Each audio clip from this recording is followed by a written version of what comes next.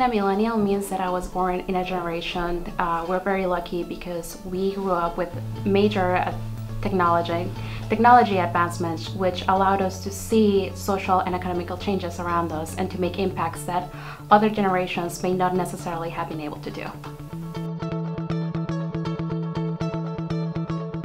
I'm currently a student at Albany Law School. I also work at a law firm, uh, which is one of the biggest ones in the Albany Capital Region. In the past, I've worked with a nonprofit where we defended individuals who work at risk of deportation. As a law student, uh, one of my main goals is to be an immigration attorney. I think that's very important to me and that I represent my community. I'm a first generation immigrant and so I know what are the nuances and all the difficulty with becoming a citizen.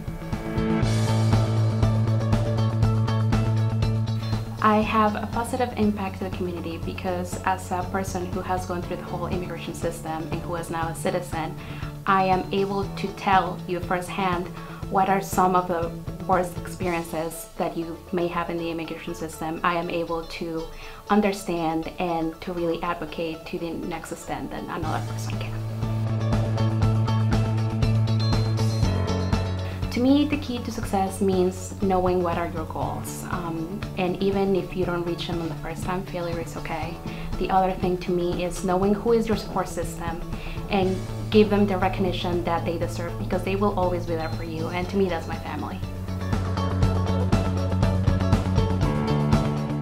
My advice for other millennials is that you should know that anything that you want to succeed that is going to be good for you is going to require hard work. And even if you fail, that's okay. And failure is good because you can learn from your own mistakes.